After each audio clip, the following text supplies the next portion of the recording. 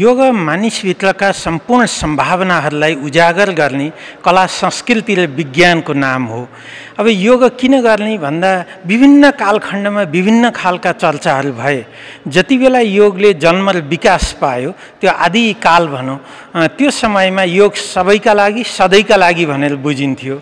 दोस्रो कालखण्डमा आइपुग्दासम्म यसले अलिकति स्वरूपलाई बदल्यो र हामी के सोच्न थाल्यौँ भन्दा योग भनेको निश्चित खालका साधना गर्ने मान्छे आध्यात्मिक क्षेत्रका मान्छेहरूका लागि हो या बैरागीहरूका लागि हो घरबार छोडेर जङ्गल पसेकाहरूका लागि हो भनेर बुझ्न थालियो र एउटा ठुलो जमात त्यो दारी कपाल पालेका विभिन्न रूप रङ्गका जीवनशैलीमा बा बाँचेकाहरूका लागि हो भनेर सोच्न थालियो।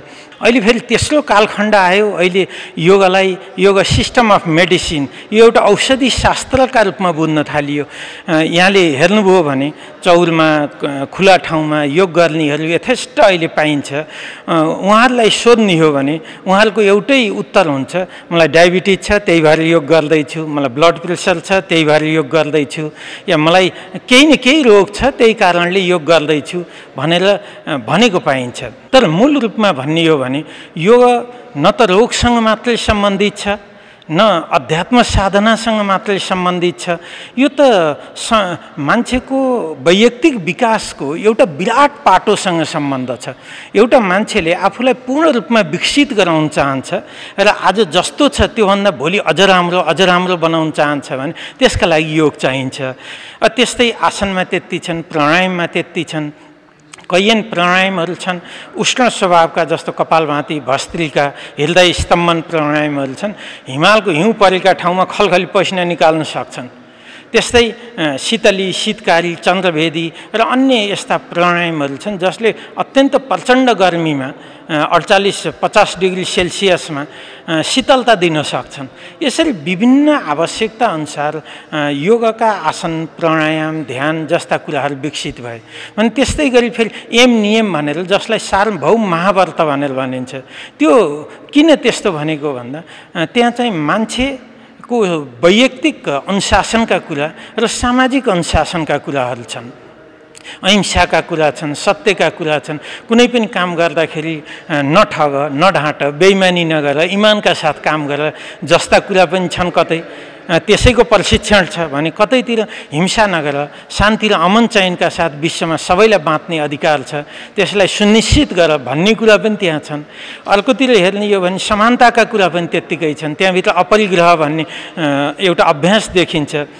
जसले के भन्छ भन्दाखेरि तिमीलाई जति कुराहरू आवश्यक छन् त्योभन्दा बढी सञ्चय गर्ने अधिकार छैन भन्छ।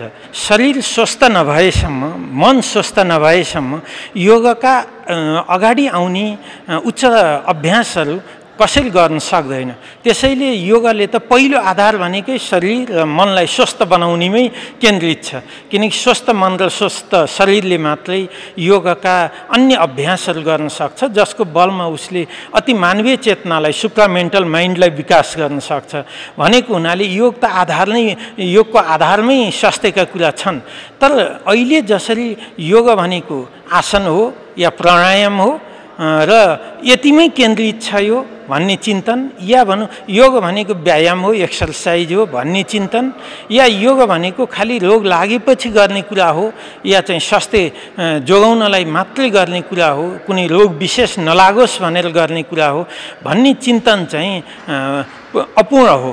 तर के भन्दाखेरि स्वस्थकर दीर्घ जीवनको कुरा त योगले आरम्भमै गरेका छ अहिले हामी के देख्छौँ भन्दा शान्तिको अहिंसाको कुरा गर्दाखेरि प्रेम करुणाका कुरा गर्दाखेरि त्यो स्वास्थ्यसँग सम्बन्ध के छ र भन्ने जस्तो हामीलाई लाग्छ। अब अहिले विश्व स्वास्थ्य सङ्गठनको यो वर्षको रिपोर्टलाई हेर्ने हो भने सन् दुई हजार तिससम्म विश्वमा थुप्रै नसर्ने रोग र अन्य रोगहरूमाथि हामीले विजय प्राप्त गर्नेछौँ। तर सन् दुई हजार तिसमा विश्वका लागि सबैभन्दा ठुलो समस्या तनाव हुनेछ स्ट्रेस हुनेछ भनेको छ। र तनावलाई सँग जुझ्नका लागि आजैदेखि तयारी गरेनौँ भने त्यो दिन चिकित्सा शास्त्र मात्रै होइन स्वास्थ्य विज्ञान र मानव सभ्यताले घुँडा टेक्न सक्छ भन्छ। यसलाई यसले के सङ्केत गरिरहेको छ भन्दा मान्छेको वैयक्तिक जीवनमा त्यस्तो जीवनशैलीको जरुरत छ आज।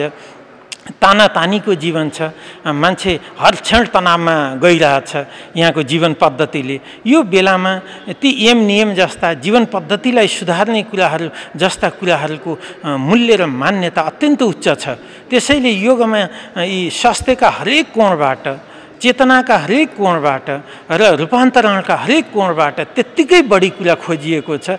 एक शब्दमा भन्ने हो भने के भन्न सकिन्छ भन्दा एउटा लेखक राम्रो लेखक बन्न एउटा किसान राम्रो किसान बन्न एउटा विद्यार्थी राम्रो विद्यार्थी बन्न एउटा प्रोफेसर राम्रो प्रोफेसर बन्न या एउटा पत्रकार राम्रो पत्रकार बन्न जो जहाँ छ त्यहाँबाट उत्कृष्टताको खोजी गर्न चाहन्छ कसैले भने त्यसका निम्ति योगभित्र विभिन्न कला संस्कृति विज्ञान छिपेका छन्। यो कुनै फेरि आस्था र विश्वासको कुरा होइन।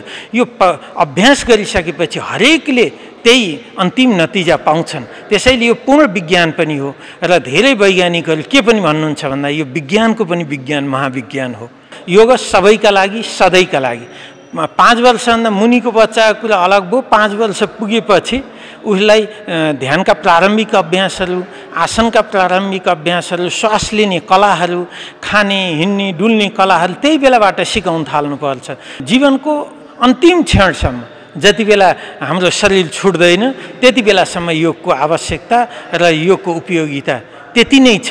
त्यो कुरालाई हामीले भुल्नुहुन्न र यो पनि सम्झिनुहुन्न कि अहिले म रोगी छैन मलाई केही भएको छैन त्यसो हुँदा मैले योग किन गर्ने या यौगिक जीवनशैली किन बिताउने या खानपान रहनसहनमा किन ध्यान दिने भनेर कसैले सोध्छ भने त्यो चाहिँ अपूर्ण दृष्टिकोण हो र उसले जीवनका बारेमा बुझिया छैन भन्ने कोणबाट हामीले बुझ्नुपर्ने हुन्छ। शिक्षामा स्वास्थ्यमा पर्यटनमा रोजगारीका विभिन्न क्षेत्रहरूमा यसलाई चाहिँ प्रवेश गराएर देशलाई समृद्धिको दिशातिर अगाडि लैजान हामीले काम गर्न सक्छौँ। आज देशले समृद्धिका कुरा गरिरहेको छ। समृद्धि भन्ने चिज हामीले खालि पैसासँग मात्रै मापन गरेका छौँ र ब्याङ्क ब्यालेन्ससँग मापन गरेका छौँ। त्यस्तो होइन। एउटा मान्छेले दैनिक गर्ने खर्चलाई घटाउन सकियो भने त्यो पनि समृद्धि हो। एउटा मान्छेले एक वर्षमा पचास हजारको औषधि खान्छ या स्वास्थ्य उपचार गर्छ र एउटा मान्छेले एक रुपियाँ पनि गर्दैन र ऊ स्वस्थ छ भनेदेखि उसले पचास हजार कमाएको देखिन्छ। यी कुराहरूलाई हामीले बुझ्न जरुरी छ।